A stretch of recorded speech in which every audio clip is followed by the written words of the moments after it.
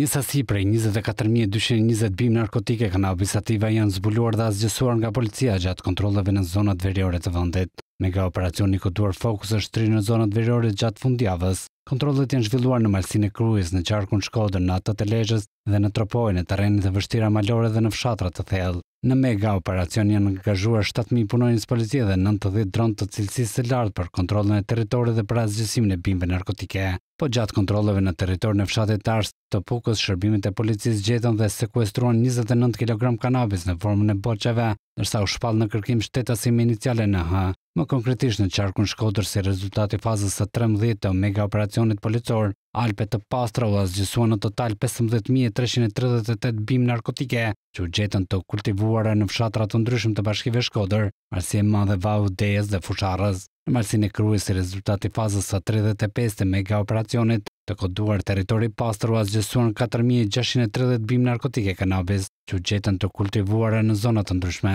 Në qarkun Lezhë, si rezultat i fazës së tridhjetë e tretë të megaoperacionit, të koduar imazhi u asgjësuan në total katër mijë bimë narkotike, që u gjetën të kultivuara në disa fshatra të ndryshëm të rretheve Lezhë dhe Kurbin, në zonat malore të Tropojës, si rezultat i fazës së shtatë të operacionit, të koduar Bjeshkët e Nemuna, u asgjësuan dyqind e pesëdhjetë e dy bimë narkotike që u gjetën të kultivuar në fshatra të ndryshëm të bashkisë Tropojë. Policia ka mundur të identifikojë në vetëm një rast kultivuesin e bimës, ndërsa vijon puna për identifikimin dhe kapjen e shtetasve të tjerë të përfshirë në rastet e kësaj veprimtarie kriminale. Megaoperacioni policor i koduar Fokusi po vijon pa ndërprerje në të gjithë vendin, me shërbime nga toka, monitorim nga ajri me dronët e policisë dhe përmes bashkëpunimit me partnerët e Guardia di Financës Italiane.